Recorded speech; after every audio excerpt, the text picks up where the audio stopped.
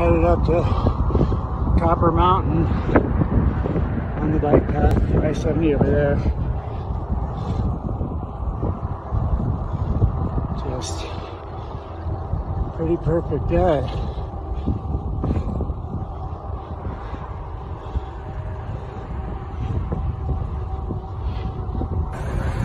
So nice.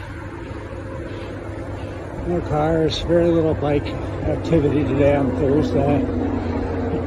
It's the first time I've ridden this since uh, my back surgery, so it's been you know three plus years.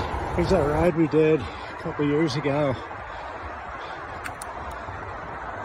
Up that bike path along I-70 towards Vail, Copper Mountain. It's a really nice day. Along the river here, which of course you can't see right now. Probably hear the highway. Oh, there's a river down there.